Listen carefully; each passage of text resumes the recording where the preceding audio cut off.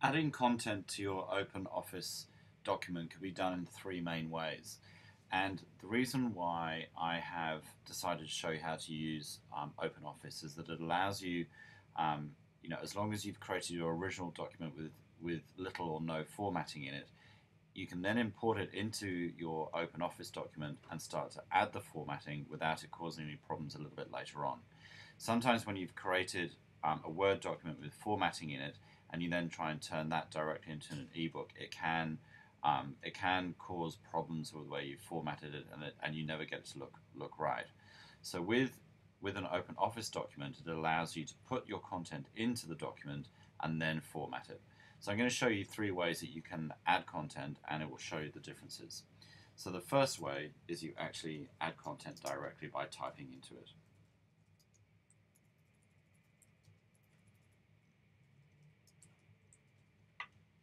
So that's a fairly normal way. The second way is by going to a Word document, copying the content. So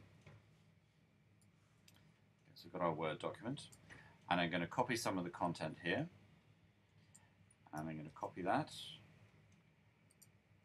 and then pasting that directly into my OpenOffice document.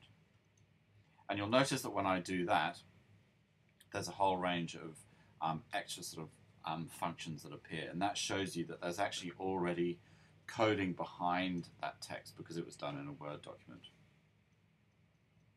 If I now delete the content I added from the Word document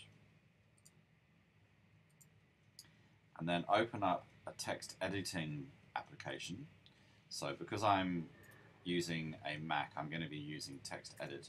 But basically a text um, a text editing function allows you to um, use text with no formatting in it. So as I said, with the Mac it's text edit, and with the PC it's going to be Notepad. If I now copy the same text into my text edit application, you'll notice that all the formatting is removed from it. Okay, so if I now copy that go back to my Open Office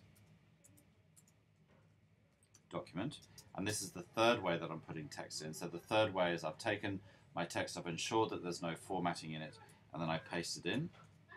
You'll see that there's absolutely no formatting um, that code that goes with it. And this is probably the easiest way to work because now what I can do is I'm bringing in my content that I've already written, making sure there's no formatting in it, and I now can use um, a uh, a uniform formatting style throughout that document.